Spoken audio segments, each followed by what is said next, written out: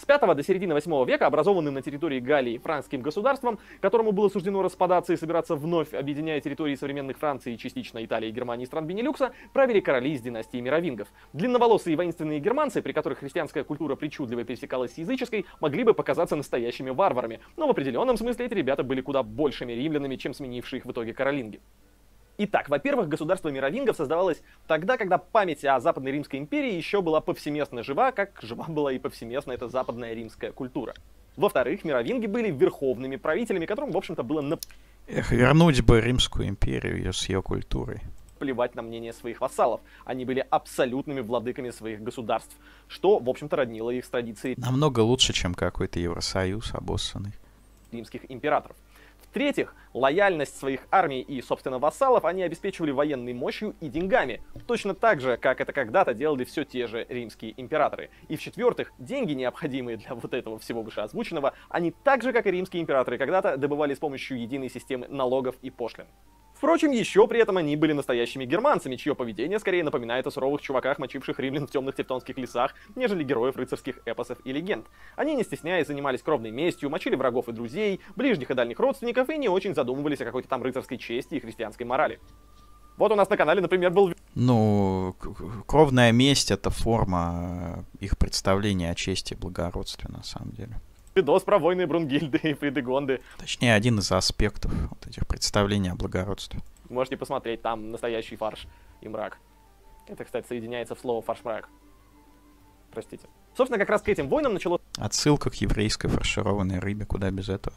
Становиться понятно, что что-то неладно во франкском королевстве. Бесконечные войны с родственниками в итоге привели к тому, что королям мировингов пришлось раздавать королевские земли вассалам, постепенно утрачивая источник своей власти. Со временем это обернулось достаточно глубоким кризисом государственной власти. На протяжении 100 лет, всего седьмого столетия, династия утрачивала влияние и контроль над вассалами, пока ее, собственно, не свергли к чертовой бабушке.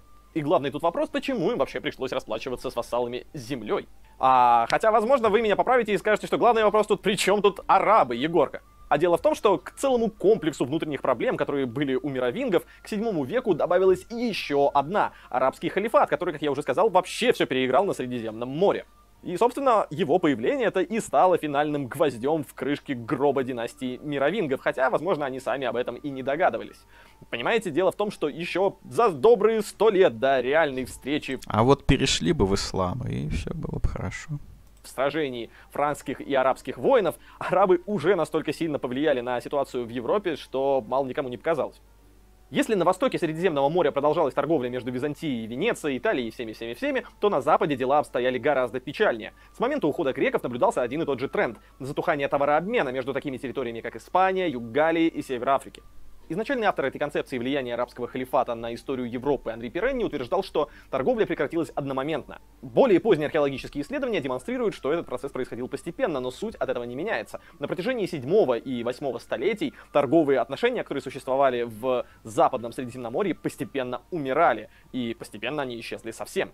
Дело в том, что помните, что было у Византии? Так вот, у франков никакого военного флота не было. А арабы то ли не были заинтересованы, то ли не были на самом деле способны обеспечивать на море такой же порядок, как какой обеспечивали в свое время византийцы.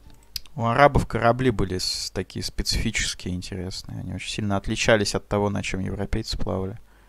То есть там и устройство паруса, и устройство самого корабля. Запад Средиземного моря стал кишить пиратами и налетчиками Но тем не менее они плавали и в Индию, и, собственно, вплоть до Юго-Восточной Азии. Всех мастей, что привело к росту популярности пиратских песен, смерти римской культуры и, в общем, еще ряду других занимательных событий. Некогда великий торговый порт Марсель постепенно чахнет и превращается в былую тень самого себя. При дворе мировингов, где всю жизнь вся документация велась на папирусе, вдруг начинают использовать пергамент. Папирус, который раньше доставляли с Востока, исчезает практически полностью. Со складов пропадают пряности и благовония, которые теперь становятся крайне дорогими предметами роскоши. Шелковые ткани теперь можно встретить только в редких запасниках отдельных церквей, вино перестают Отрезали от шелкового пути. привозить из газы, а в церквях начинают жечь восковые свечи. Оливковое масло, которым в том числе раньше заправляли лампады, больше почти не появляется на торговых складах. Все это мы знаем из хозяйственных документов, датированных 8 веком. Конечно, торговля полностью не исчезла, и значительная ее часть сместилась на север, там, где торговали фризы и викинги до начала эпохи своих знаменитых походов. Но, тем не менее, она сократилась до просто неприлично малых размеров.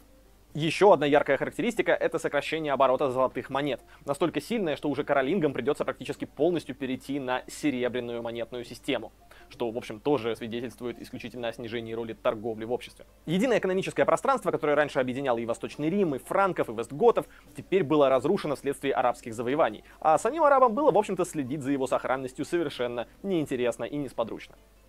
Нет торговли, нет пошлины налогов с товарооборота. К тому же нет ресурсов и рынков для ремесленников и профессиональных торговцев, которые также платят налоги. Без налогов денег начинает не хватать, а именно материальные ресурсы – основа легитимности мировингов. Без денег приходится обращаться к тому, чтобы дарить и закладывать землю, но подобное решение теперь несет куда больше рисков, чем раньше. Ведь разорение класса профессиональных ремесленников и торговцев ведет к упадку их реала обитания, городов и оттоку населения прямиком на поля не город, а замок, окруженный деревнями и полями, деурбанизация происходит. Становится основным жизненным пространством, а земля превращается в основной ресурс. Значительно... Надо было вставить кадры из, э, значит, этих фильмов Монти Пайтона про короля Артура. Более ценные, чем раньше, ведь в сельском хозяйстве... Во-во-во-во-во! Слушайте, прямо, прямо я читаю мысли автора данного ролика. Причем я в первый раз же это вижу сейчас. Сейчас э, будут дебаты между королем Артуром и крестьянином про анархо анархокоммунизм. Если белая женщина спит с черным, то потомство уже никогда не будет белым. Как в таких условиях, при активном росте черножелтого населения, белой расе сохранится. Ну, во-первых, генная инженерия существует, да, и всякие там вот эти вот э, проектирования фенотипа при помощи там закладывания генов и так далее. А во-вторых, в любой популяции большая часть э, людей, э, она выбирает себе половых партнеров из своей же собственной этнической группы. То есть какое-то смешение, оно всегда в статистике, ну, какие-то периферийные только числа, такие незначительные занимает. Опять-таки, если мы не сталкиваемся с искусственно инспирированным массовым миграционным потоком.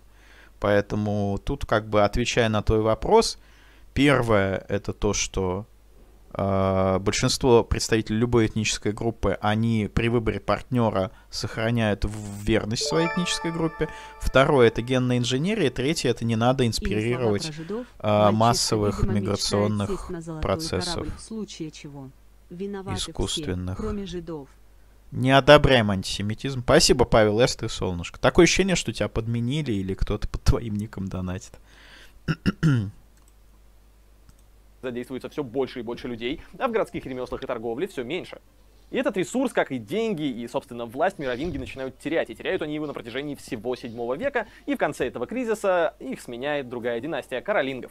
Но тут гораздо важнее не то, что одни чуваки на троне сменили других чуваков на троне, и даже не то, что теперь пятиклассники могут посмеяться над именем Пипина Короткого, но действительно важно то, какие культурные и общественные изменения сопровождали весь этот процесс. Мировингов сверг дедушка Карла Великого, Карл Мартел. Пипин, отец Карла, провозгласил себя королем франков. Карл Великий стал отцом всей средневековой Европы. Отличное имя. Одним из главных его достижений, о котором написано во всех учебниках, стало создание института рыцарства. Он начал раздавать землю за присягу и службу. Сам не зная, он создал систему вассалитета. Получая из рук монарха землю, вассалы присягали ему на верность и обещали привести своих воинов в случае чего. Однако редко говорят о том, почему он выбрал именно такую систему. Ответ же в том, что у него, в общем-то, не было особого выбора. Пытаться содержать армию за деньги по образу мировингов, ориентировавшихся на римские легионы, попросту было невозможно по причине отсутствия тех самых денег в достаточном количестве. Соседей же, которых можно было завоевать и чью землю потом раздать, было в избытке. Однако, хотя сам Карл пытался обуздать феодалов, естественно, это ни к чему не привело. Точнее, это привело только к еще большей децентрализации, где король в итоге стал лишь первым среди равных, а отдельные феодалы в итоге часто оказывались сильнее и богаче монарха. Та самая феодальная раздробленность. Исчезает и единая налоговая система. Остаются отдельные пошлины, но централизированного сбора налогов больше нет. Их уже даже банально некому собирать. Да и как, если каждый отдельный вассал сам себе во многом король? Цены все чаще указываются в зерне и скоте, потому что эти две производные от земли становятся куда важнее, нежели абстрактные деньги. У всей этой децентрализации было еще одно интересное последствие, лежавшее вовсе не в области политики или экономики. При да, зерно и скот это продукт, то есть не продашь, так сам съешь такой раздробленности. Особенно в условиях голода, там, неурожая и так далее европейских земель на задний план отходит латынь как единый язык, и все больше и больше, больше и больше значения играют местные региональные языки и диалекты. По крайней мере, это происходит в плане устной речи. Письменная все равно стремительно вырождается, оставаясь только в церкви, где продолжает использоваться латынь как универсальный инструмент, связывающий воедино самых разных представителей западного христианства. Итальянцев, франков, англосаксов, ирландцев и так далее. Таким образом, к праву утверждать королей христиан Наглосаксы, как их называют в России. Христианская церковь приобретает еще одну важную черту. Она становится основным хранителем письменных знаний, а вместе с этим и культуры в целом. Теперь образованные люди в основном священно Ну и международная дипломатия между разными католическими странами с разными монархами. Церковь-то до определенного момента она везде была одна и та же. Служителей, из-за чего важнейшие административные должности тут и там теперь занимают епископы, становясь советниками королей и важнейшими людьми в государстве. Тем более, что из-за отсутствия необходимости поддерживать обширную налоговую и чиновничью инфраструктуру, церкви и монастыри полностью покрывают кадровые потребности франкского и других королевств. Благодаря всему этому в классической средневековой социальной троице духовенство, знать и крестьянство теперь уверенное первое место держит церковь. Заметьте, что в этой троице нет ремесленников или торговцев. Эти классы фактически исчезают после 7 века. Имеются в виду, конечно, профессиональные торговцы, потому что всякие там крестьяне на локальных рынках продолжают торговать, но это не их основная сфера деятельности. Более того, теперь профессиональная торговля еще и считается грязным делом, потому что, ну, помимо официальных поставщиков для двора, этим занимаются, да, вы правильно догадались. Жизнь вокруг Еврей. Да, ну и ростовщической деятельностью тоже, потому что давать деньги в рост это плохо. То есть это такой способ э, извлечения прибыли потом будет легитимизирован только после реформации. Но, с другой стороны, Мартин Лютер, если мы почитаем, что он про евреев писал, то там всякие гадости ужасные, антисемитские. То, что мы не одобряем, конечно. Обмена товаров и денег, а также вокруг выдачи суд, теперь вертится только у одной конкретной прослойки населения – у евреев. И именно в средние века антисемитизм начинает расцветать еще пуще былого.